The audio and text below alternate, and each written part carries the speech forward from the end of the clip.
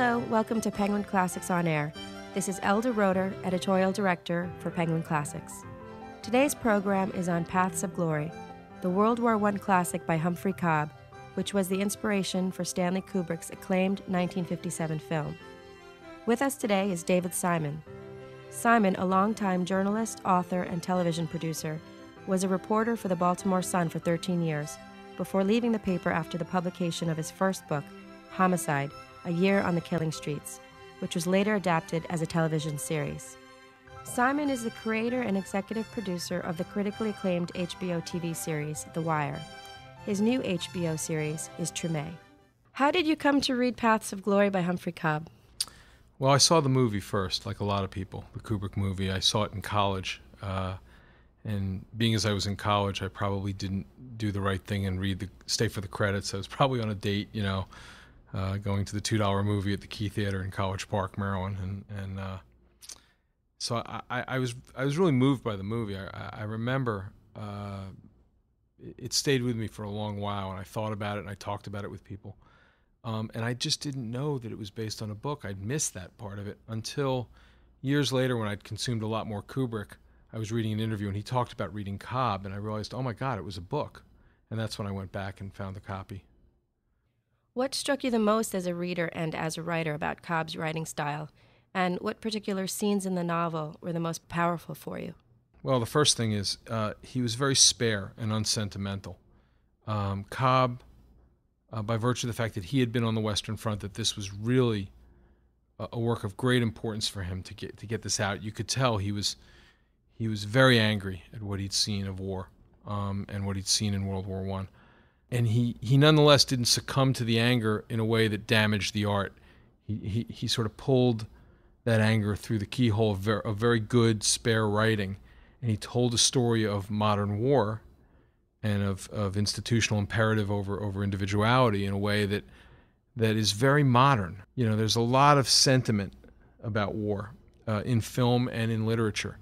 People set out to to, to make a uh, an anti-authoritarian statement or an anti-war statement, and they end up in some way glorifying uh, the heroism even of a bad war, because I mean you see it now with with the sense of um, you want to exalt the fighting man because they are in, in, in, a fundamental way being victimized by the whole process, um, and Cobb was having none of it. He really wanted to express exactly how lives were misused in that uh, conflict that that really began and was and was the, the benchmark for the 20th century for all the horror that was going to come beyond. And uh, I remember reading it and thinking, this guy just will not give an inch. He's he's really just about telling the truth. Uh, a couple scenes that I thought were so beautifully rendered. One is not so stark as uh, as it is almost uh, sort of tragic comic, which is the marching and counter marching at the beginning of the book. They are uh, the regiment is marched. Uh, the French regiment is marched away from the front for what they presume to be rest in the rain, miserable, past the old woman. They get to where they're going, and they're told they have to go back in the line for the for the, for the assault that is to come.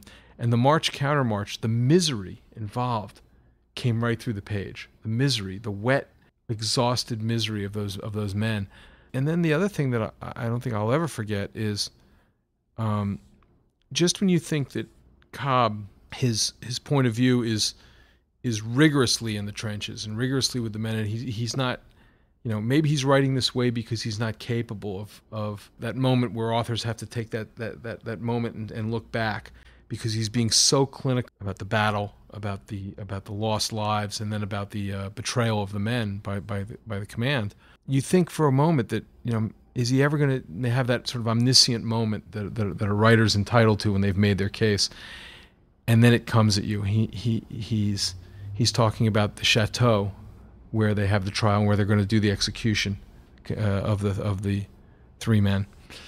And he, he he takes a moment and and he talks about all the great generals that had stayed there and dined there and it really were, it was the architects of of such horrible butchery uh, in Belgium and France in, in, that war. You know, he's talking about General Haig, and there's a moment where he has his say, as the best authors always do. You know, he's earned it.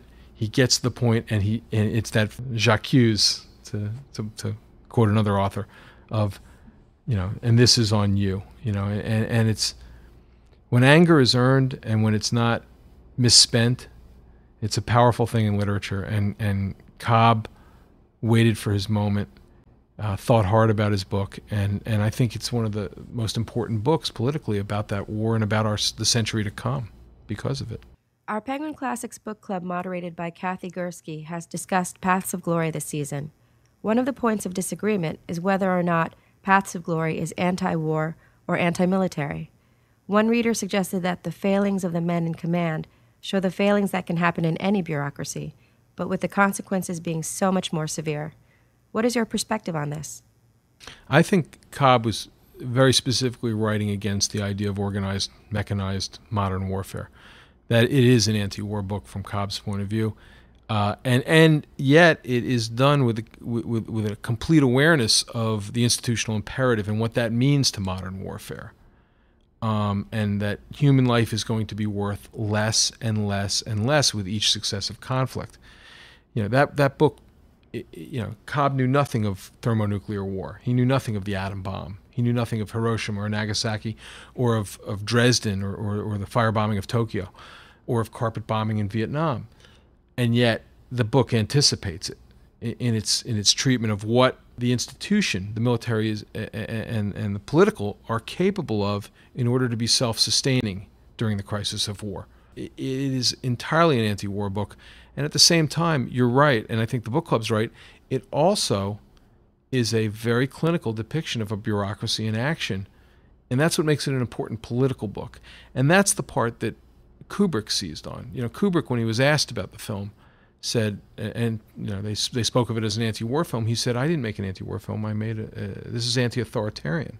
That's the part that, that Kubrick seized upon and extrapolated, and in fact went beyond the book in some ways. And he created some story dynamic that actually didn't exist in the book, but made sense if you were watching it from a Cold War era perspective in terms of the generals turning on each other and such. Kubrick was after another thing entirely, and yet the material was there for him. So I, I think, regardless of where their target was, it's all there in the book, and you, you, can look at either. You know, it's all true. I think I think both sides of that book club discussion got it right. The novel's focus on the chain of command and the failures of a bureaucratic system is also a strong focus found throughout the storylines and characters in The Wire. What are some major correlations you could trace from Paths of Glory to The Wire? We borrowed one thing repeatedly from the book. At least I did in my head when I was would be fashioning these scenes. Uh, whenever we were depicting the uh, the human beings that were at, at, the throttle of an institution, be it uh, a police commissioner and a deputy commissioner, or a, a, mayor and a challenger, or a mayor and his chief of staff, or a school principal and a, an area superintendent of schools uh, or uh, an editor in chief and a managing editor, whenever we were depicting the maneuver of of such characters, I always had in my head the Charles Macready and Adolphe Menjou characters from the film, uh, and the notion of why do you get to that horror? Why do you get to that decision that, that under no circumstance could justify itself, and yet somehow manages to justify itself because of your moment of, of personal necessity? I think we've all seen that in institutions, you know, and, and from our po- political leaders and from our military leaders and from our school superintendents and police chiefs, where uh, the statistics say one thing and you manage to twist them until they say something else because you need them to say something else. The attack failed. You need to explain it. It wasn't my fault. It was somebody else's fault. The maneuver of bureaucracy, Cobb got that so well that once you read the book, you could you could really see it in any institution. So it was always good to revisit the French generals of Cobb's imagination and, and, and, and see uh, the rage and the ambition and the, and the petulance and the vanity uh, that is at work. Um, because that's, that's, that's the nature of man, and it's certainly the nature of, of, of leadership to indulge in that if it's not held to account. And certainly the French army uh, at this moment in time was not going to be held to account. They were their own they were their own argument. So I think that we borrowed and, and, and we enjoyed it immensely. I mean, when you see Deputy Commissioner Rawls and Commissioner Burrell maneuvering with each other um, really, it's it's an echo of the French generals that, that Cobb invented.